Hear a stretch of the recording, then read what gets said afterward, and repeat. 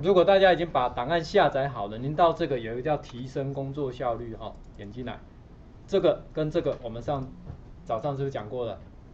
好，那您就是回去可以试看看。那这个打开，什么叫虚拟桌面？Win 十以后内建虚拟桌面，可是还不是很好用。那这个是不用安装的，我先点两下。好，现在执行完了，OK，那我就要来问一下各位喽。来，你看我在，不管您是工作或学习，是不是有时候下面要看很多应用程式？嗯，那如果您连赖，假设赖你是把它放在就是电脑版的，还是一些就是 Facebook 放在这边，请问会不会干扰到你？现在其实我们会有一个最大困扰是什么？没办法专心，因为可以让你分心的事情好多好多，要么看电视，要么看手机，对不对？无聊嘛，就怎样，又顺便逛逛街啊。对哈，老师说那个作业要交了，快快快快快。啊，等到然后人一下又咚咚咚咚，对不对？你就会受到干扰。那这个时候，虚拟桌面就是一个很好的工具。那虚拟桌面的技术在 Windows 比较慢成熟，因为 Windows 它就是显示卡效能不是那么好。最早其实在我念大学是在二十几年前，Linux 上面就有虚拟桌面的，所以。如果我不想要这样，你也觉得有没有干净一点？啊？你工作的都在这里啊，啊，聊天的在这里啊，也不觉得下面空空的吗？有注意到了吗？对不对？这个软体预设有四个虚拟桌面，所以你可以，哎，比如说我现在工作的，给你切来这里，有没有？然后呢，你想要跟同学聊天，你就换来这里。老师走过来就切这里。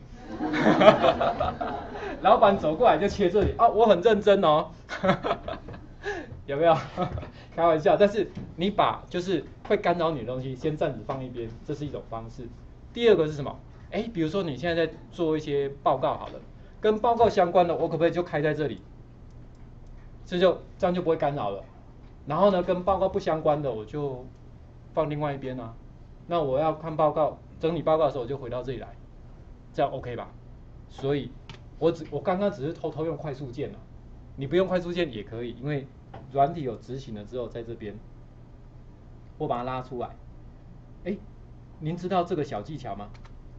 这个如果它在这边，你可以把它丢到外面，它就永远显示在外面，不用不用进到自定哦。用到自定是一种方式哈。那如如果这个。有没有这样就可以丢到外面？哎，那如果不要，你就再丢回去就好了。好，好，我把它丢出来好了。好，OK。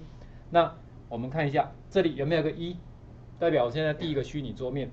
你把它点一下，你可以自己挑，看你是要进第几个。好，那也可以怎么样？按右键，有没有都是中文的？应该没有什么困扰嘛。窗口一，你这样不小心就知道我刚刚按哪个快速键了吧？好，那你你如果怕。不同桌面你会搞混，不同的桌面可以是设不同的那个背景，好，可以设不同的背景。你看这边有没有叫做窗口管理员？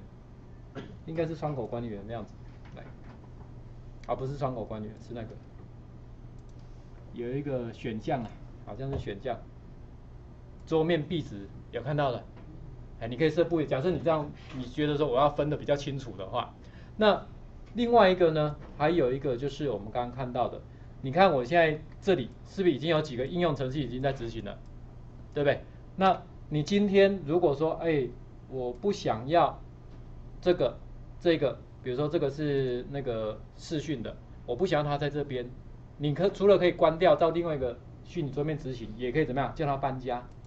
你看一下在这里，我叫做窗口管理员，你可以告诉他，哎，你进来这里，有没有？等到你按确定了，有没有消失不见？它就跑到第二个去了，这样子就比较有效率一点。当然你在这里执行也可以，好，就在这边独立执行也是 OK，也是可以。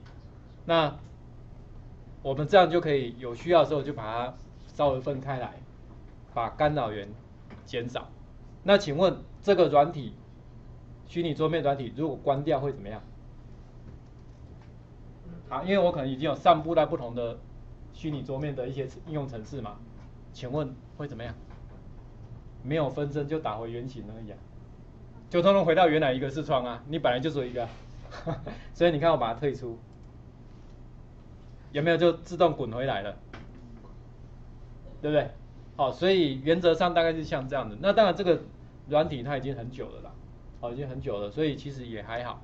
就是在 Win 十虽然也有内建有虚拟桌面的功能，可是没有像这个那么灵活。好，所以您可以做个简单参。